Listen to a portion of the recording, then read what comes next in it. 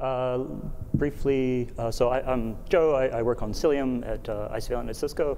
Uh, but today, this I'm, I'm, not speaking in that capacity.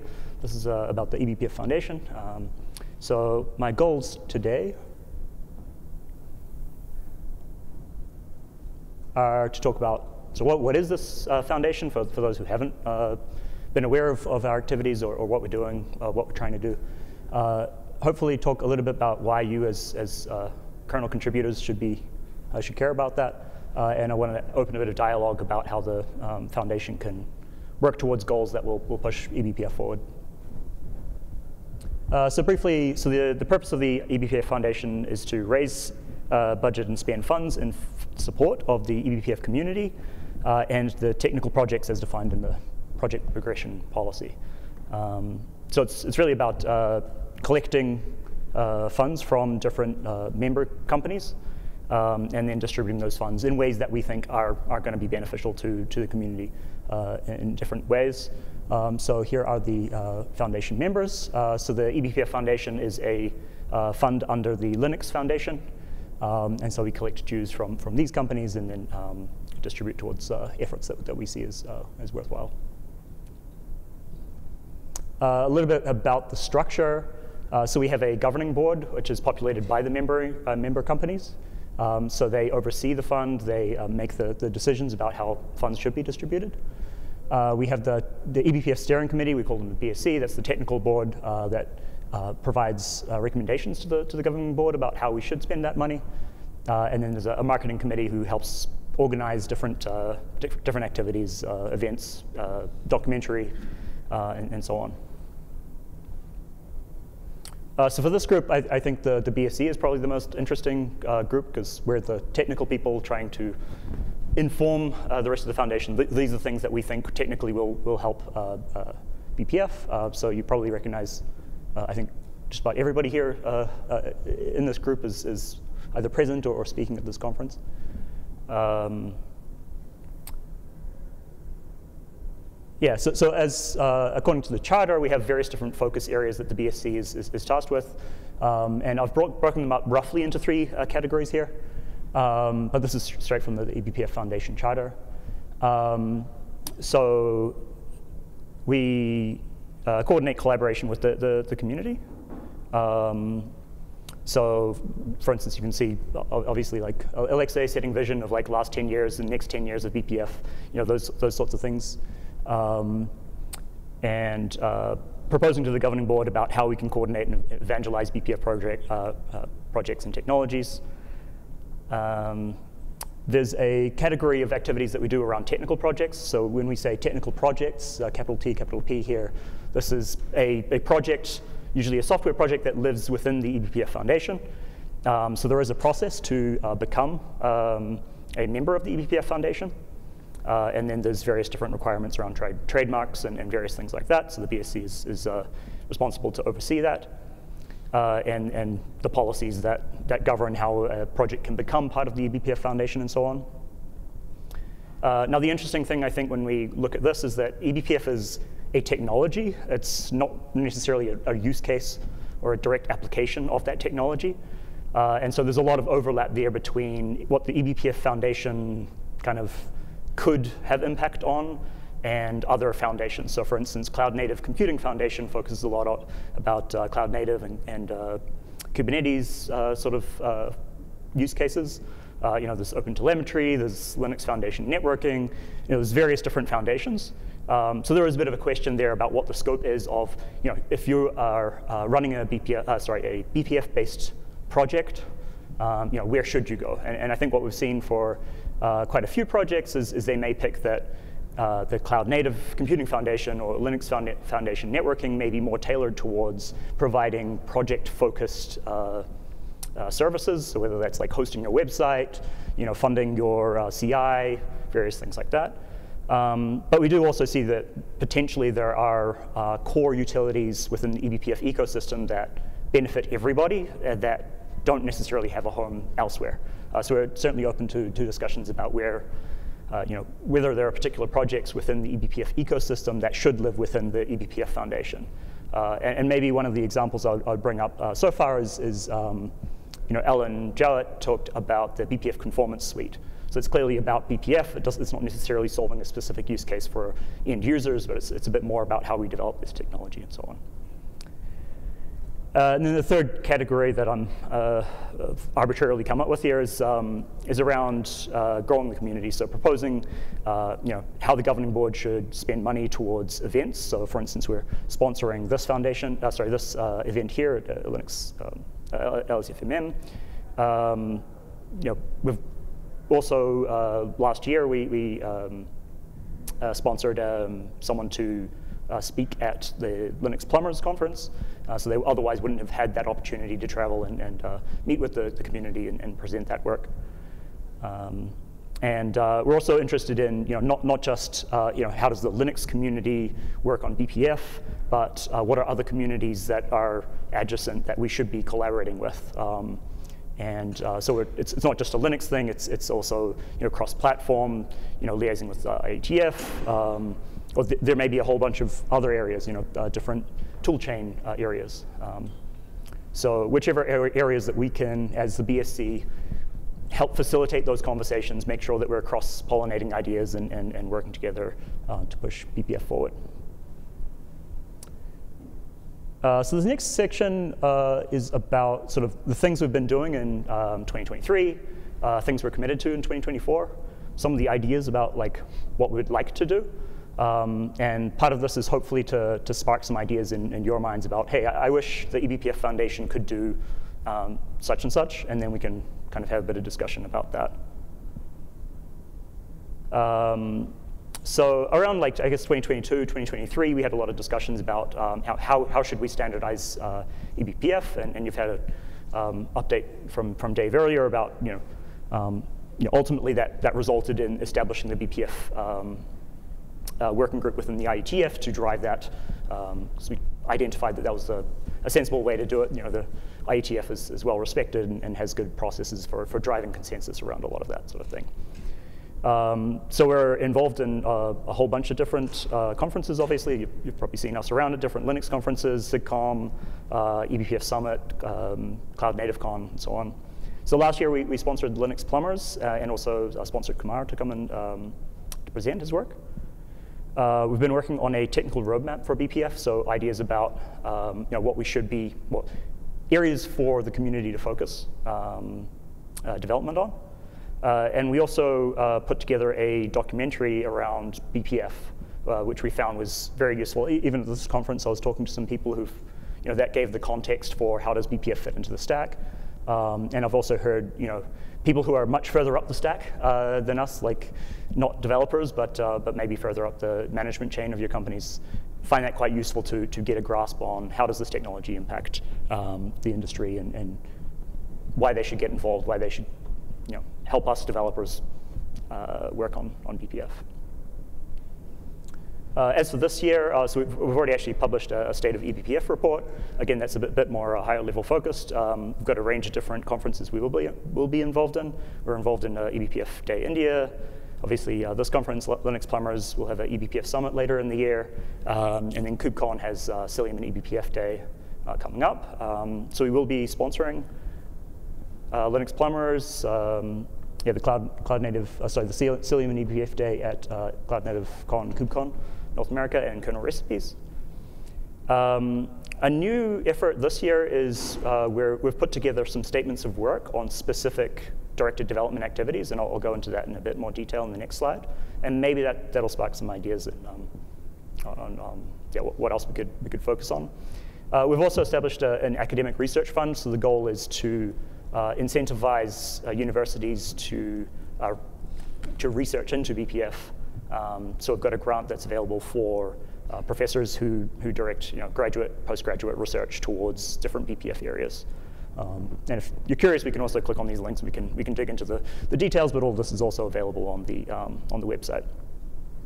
And from the marketing com committee, we're, we're, also looking at uh, driving um, so an audit of the BPF verifier in the kernel um, and potentially putting together a threat model about, um, about BPF. That's currently just an information gathering stage. We're just figuring out how that, that will work out. Um, so in terms of directed development, um, so we have put out two uh, statements of work uh, already earlier this year, and we had um, a range of uh, submissions for that for that tender offer. Um, and so we uh, got Bootlin involved. Uh, so first one was around BPF self-tests. So this is uh, taking the, the self-tests that are under the examples directory, modernizing them, moving over to the, the self-tests directory um, with the, the goal to sort of eventually get rid of all of the self, that sort of testing examples that are under the examples directory that are not part of the regular CI. Uh, and then the second one that we've, we've committed to is, is improving uh, ARM64 support, given that you know, it's a very popular platform. Um, we've started writing up, well, we've wrote up a, a, an initial draft of a CFP, oh, sorry, of a, a, statement of work uh, for um, improving the LVM, LLVM BPF backend and, and RISC-V, uh, RISC-V 64 support. Um, but I think right now we figure this is the first time we're doing it. Let's not commit to like five or six different projects and we're not really sure how the process will work yet. So we're, we're starting with a couple of these um, and getting a feel for the process. You know, we need to work with the Linux Foundation to tender the contracts, make sure that they're delivered and, and all that kind of stuff and, and the oversight. So, um, but I think there's, I think we're quite interested in how we can direct some of that um, funding from the eBPF Foundation towards, um, you know, open uh, development on core infrastructure that benefits everybody. Um, and so, yeah, um, and then I guess, yeah, so we haven't written something up for Syscall or BPF, BTF uh, coverage, but I guess that's another idea. Um, from here, I'm, I want to just kind of open up the floor and say, how could we, uh, you know, how could the eBPF Foundation help the, the community? Um, and yeah, I'm also happy to click on some of these links if you're curious to get into the details of what are the proposals.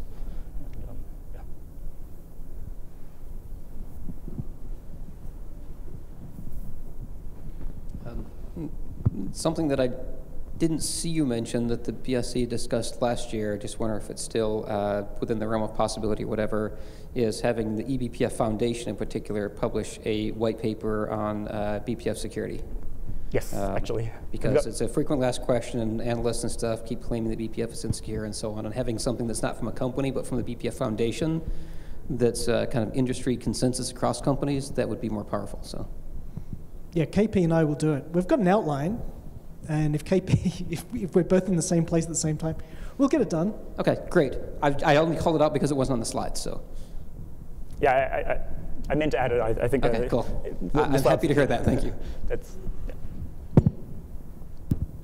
I, I think in a similar note, the threat model comes up a lot in conversations. People just have a checkbox that anything that's running needs to have a threat assessment if the BPF Foundation had a link you could point to, and people could just grab it, and it didn't look like like I'm sort of self-certifying my own thing, right? It would be a, it would be a sort of a win for sure. Mm-hmm. So just uh, I saw it was on the list, so plus one, I guess, from from my. Uh, yeah, yeah, the threat model there, yeah.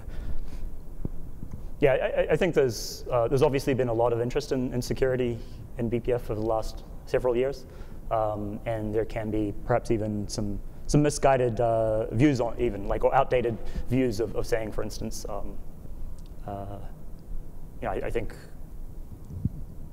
initially when we introduced the um, like rootless uh, eBPF, I, like a lot of uh, security reports came up on that. So I, I think it might be useful to, I guess, update and say like this is this is what the latest is and this is what the current state of unprivileged and and how we're how we're seeing the security model around that. Yeah, yeah, and I, I think the the threat assessment documents have some sort of format that people are used to seeing. So if if it helps, we could find somebody who's used to being third-party threat assessment kind of stuff. This is just like a I have a set of compliance. I need to have a threat assessment of all the software in my box it, it's you know sort of outside the realm of like this room's engineering work, but like mm-hmm. um, we could use it a lot. The other one I think that is interesting for a lot of people is like how to, it falls closely into the threat assessment would be like the trusted boot chain. Like how does that entire trusted boot chain work? How do they integrate? Um, some multiple people have asked me for some sort of guidance on this. It's like they know how to do trusted boot. They run in these trusted boot environments. They have a compliance regulation that says they have to be in a trusted boot environment. And then BPF, eh, the question is always like, does BPF meet the requirement or not meet the requirement? And what's the document that says I can use this with these compliance require? You know, so like these sorts of things are, are stuff we're starting to run into, at least with Tetragon, um, pretty frequently now.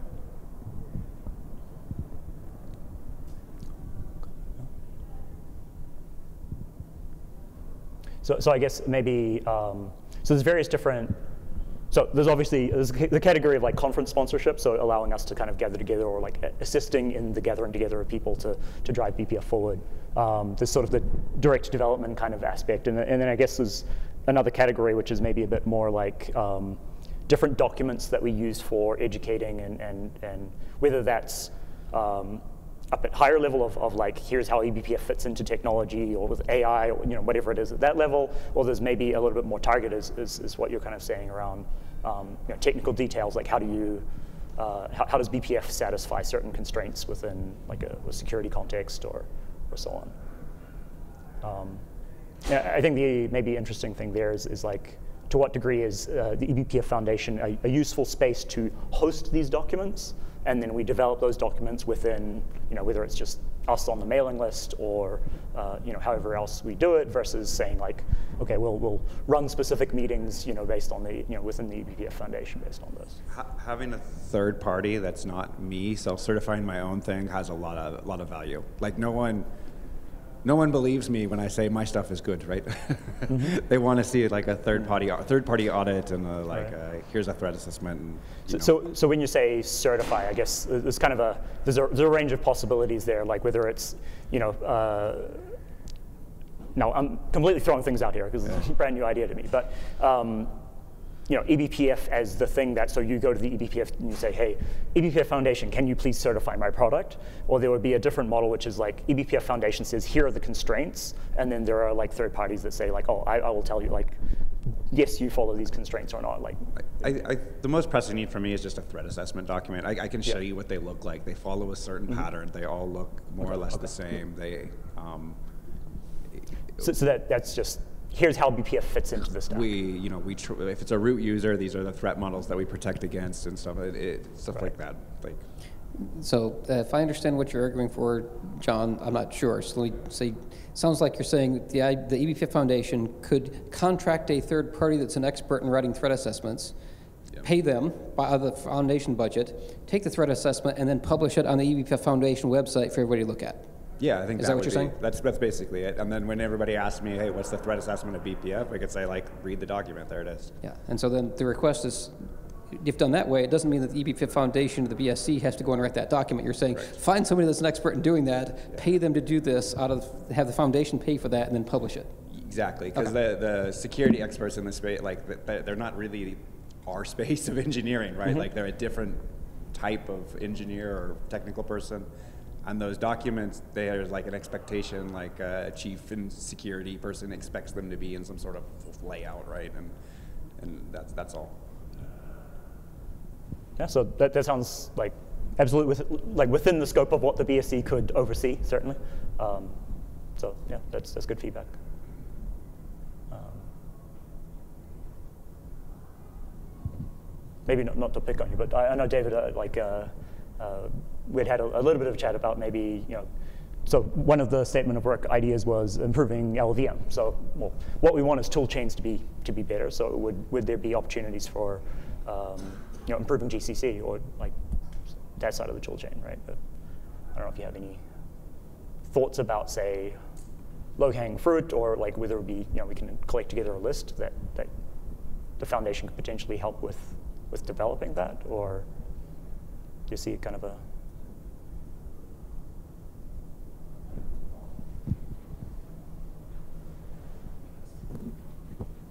I mean, I guess in that regard, like for for the LLVM BPF backend, I mean, is there some set of set of things that have been identified already that are like these are what we need people to work on, but we don't have anybody working on them, and then the foundation will pay for that? Or the answer is yes, and I'll see if I can. Uh... I guess my my question what I'm trying to say is, is that, is it, um, there is already a pre-existing set of things that need to be improved in the BPF, in the LLVM BPF backend that someone else has decided, or are you looking for people to come along and say, okay. I have this idea of how I can improve it, please pay me? Because those are, those are different things.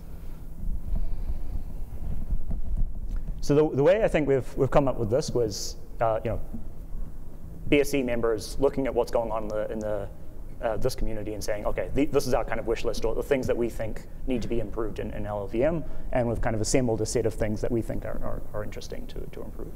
So I guess that would be the natural model to maybe maybe follow, but uh, Yeah, I think this project is something nice to have, but not really urgent. So we just propose a few of them. So if anybody interested, uh, that they can contribute. But if you are really serious about supporting more than one compiler, I would really suggest you that uh, projects like this, like code coverage support for BPF programs.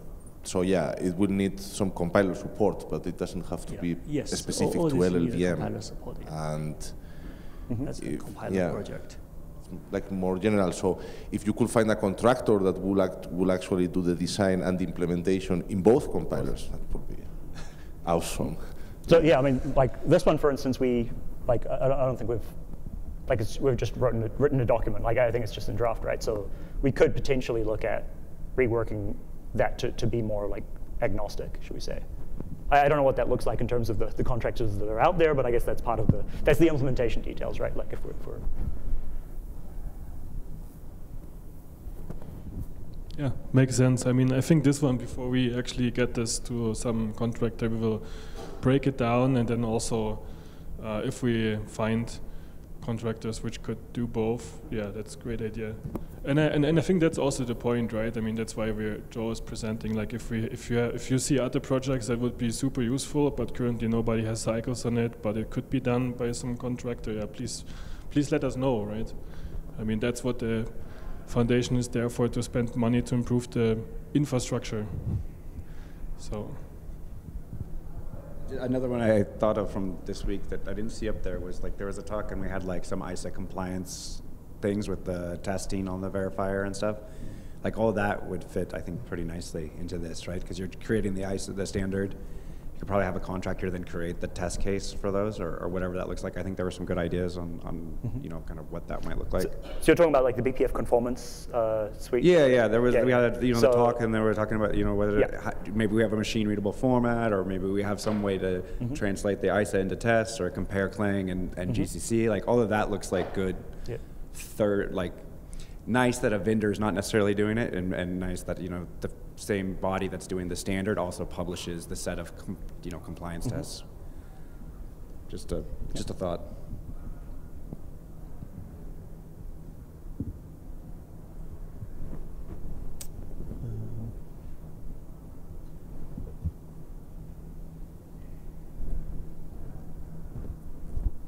resolution is somehow off. I can't quite tell what's going on in there. is there? No, was there another point? No. no? Okay. Cool. Any, any other comments, feedbacks? All right. So uh, I will maybe. Sorry? Ah, I'll just say on Mike what I said to John. So I think that's a good idea. I think in particular, I think the thing that John's talking about is I think Alan's last bullet, right, where he said, if you had a formal model of the ISA, then could you programmatically derive tests? And I'm saying having somebody actually try to do that, I think would be a, a good thing to put a statement of work and be very useful. So.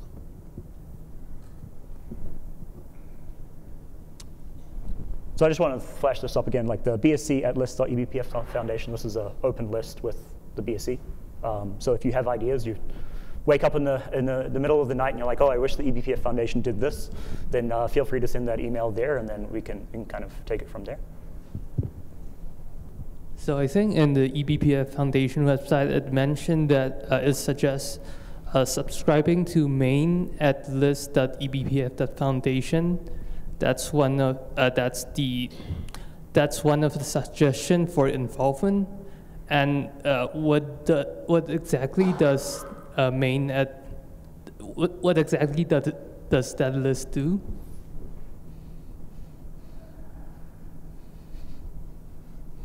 Anybody in the room know? I'm actually not familiar specifically with mainnet. If nobody on the BSC knows, um, I think it's announcements from the from the BPF as a foundation as a whole, not from the BSC. And so, if you want to get on the announcements of, of things that the foundation does, then I think that's what it was what it was intended for. I mean, you can ask Sweetheart to see what is actually being sent to that, if anything, because there should be an archive right now. Um, so, if you join the list, I think you can see the archive. Um, but my guess is just announcements about Yeah, so I don't know there's yeah, much I- there, so- I guess like yeah, for instance, there's different activities that we put out the E eBPF documentary, uh, the, st- the state of uh, eBPF report. Um, there was a year in review. We did the BSC um, review of, of, of what we did in 2023. So I'm guessing it's probably those sorts of announcements that they're also present on the on the website. All right. Thanks. Yeah. Um, yeah, otherwise, uh, yeah. Thank you very much. Cool, thank you. So that's it for this year's conference. Thank you. Yeah.